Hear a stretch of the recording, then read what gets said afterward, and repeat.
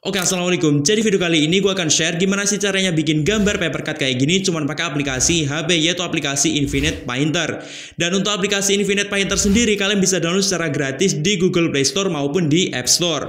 Tapi sebelum masuk ke tutorialnya langkah baiknya kalian klik tombol subscribe di bawah dan jangan lupa juga aktifkan notifikasinya agar kalian mendapatkan update-update video terbaru dari channel ini. Oke langsung aja kita masuk ke aplikasi Infinite Painternya. Langkah pertama kalian buka dulu aplikasi Infinite Infinite Painternya dan klik aja baru. Di sini ada ukuran untuk kanvas kalian. Gua di sini akan pakai ukuran kotak 3000 kali 3000 dan langsung aja kalian klik buat. Selanjutnya kalian ke menu tools dan kalian pilih tool yang bernama pass untuk memposisikan kanvas kalian biar di tengah-tengah kayak gini. Gua ke menu tools lagi dan pilih kunci biar kanvas kalian gak gerak-gerak saat tersentuh. Kemudian kalian ubah warna brush menjadi hitam dan ke menu tools.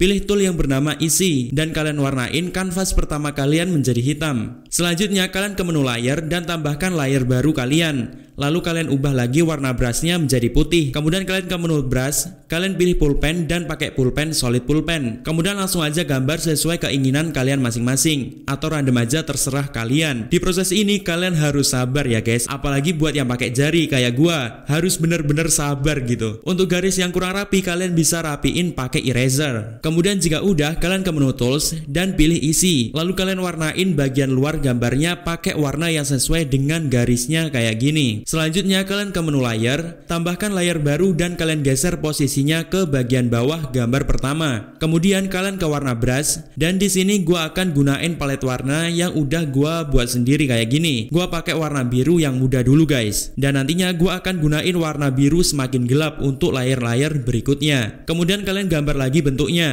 mengikuti bentuk yang pertama tadi dan jangan terlalu mirip dengan gambar di atasnya biar terkesan agak abstrak gitu. Tapi tergantung selera kita masing-masing sih sebenarnya. Dan kalian warnain gambarnya pakai warna yang sesuai dengan garisnya tadi guys. Kemudian kalian ke layar lagi tambahkan layarnya dan kalian pindah posisi layar baru ke bawah layar gambar sebelumnya. Dan untuk caranya sama aja sampai akhir. Yang penting adalah setiap menggambar kalian harus membuat layar baru. Dan kalian posisikan ke bagian bawah gambar sebelum-sebelumnya. Dan yang penting lagi adalah warna dari gambarnya semakin gelap kalau semakin ke dalam. Dan di proses menggambar yang membutuhkan kesabaran tinggi ini, gua cepetin aja. Sampai nanti proses membuat bayangan dari setiap gambarnya guys. Nah, jika menggambar kalian udah selesai, selanjutnya kalian ke layar. Dan kalian tap layar pertama, lalu pilih duplikat. Kemudian duplikat semua layar gambar kalian satu persatu guys. Jika udah semua, kalian warnain warna hitam di setiap layar kedua dari layar gambar yang asli kayak gini pakai tool isi. Dan kalian warnain aja satu-satu setiap layarnya pakai warna hitam. Tujuan dari layar kedua ini untuk memberikan efek bayangan dari setiap gambar aslinya. Selanjutnya kalian ke menu tools, kemudian kalian ke menu edit, lalu pilih filter dan scroll filternya. Pilih filter buram seperti ini. Kemudian langsung aja kalian klik checklist. Untuk efeknya ini kalian terapkan ke semua layer ya guys. Di sini gua cepetin aja karena tahap prosesnya itu sama seperti sebelumnya. Kemudian jika udah semua kalian ke menu tool lagi, kemudian ke menu edit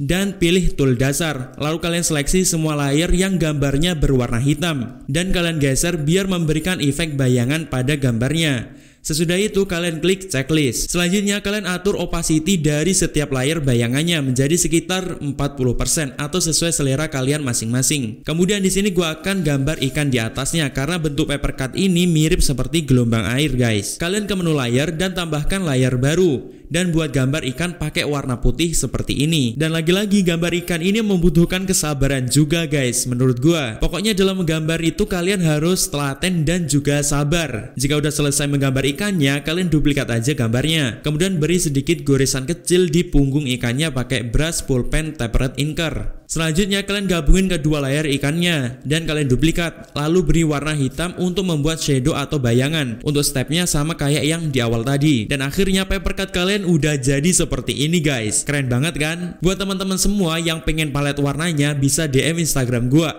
@azizpit. Kalian ketik aja di DM mau palet warna paper cut. Nanti akan coba gua balesin satu persatu. Boleh sekalian kalian follow Instagram gua ya guys. Langkah terakhir tinggal kalian save, klik titik tiga di pojok kanan atas klik ekspor, kemudian kalian ganti nama dan klik ekspor lagi. Gimana? Gampang banget kan? Nah mungkin seperti itu untuk caranya bikin gambar paper cut yang keren dan buat teman-teman yang mau request tutorial lainnya bisa komentar di bawah ya guys. Barangkali nanti bisa gue buatin di next video.